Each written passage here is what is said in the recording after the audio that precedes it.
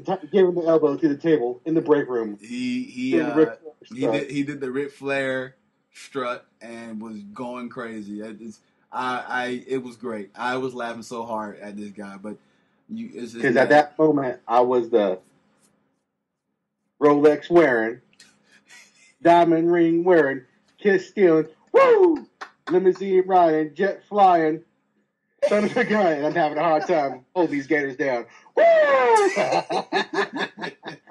he was very happy, man. There's nothing there's, there's nothing wrong with that. You I scored would have two never goals. guessed. So um Hey, and it was a great day. uh shout out for me. I want Florida had eight. There you go. I'm good enough. Kevin said he's good enough with Just eight, so- because we didn't have, just because we didn't have shit on signing day, don't mean we didn't have. We had like 15 people come in before fucking him. Hey, Go ahead, Steve. What you say? no, I was agreeing with him. Oh, okay. We had 50, I think we had 16 guys early enrolled.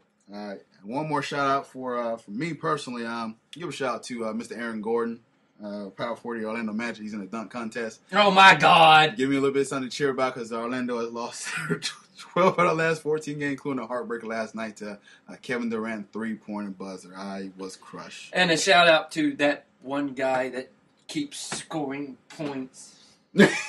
oh, Steph Curry. Like they, they, they. Like, How many he had in the first Yeah. quarter? Like he had 27. in the first quarter, Steph Curry is not human. What is that guy?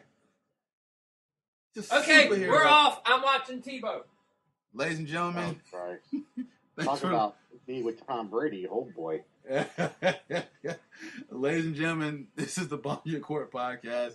Ball's not court. No, podcast. unlike Tom Brady, Tim Tebow believes in God and doesn't think he is God. Oh, and that's how we end the Bam! Hey, I know he couldn't resist. I knew he couldn't resist. I know he was coming. He, he heard you.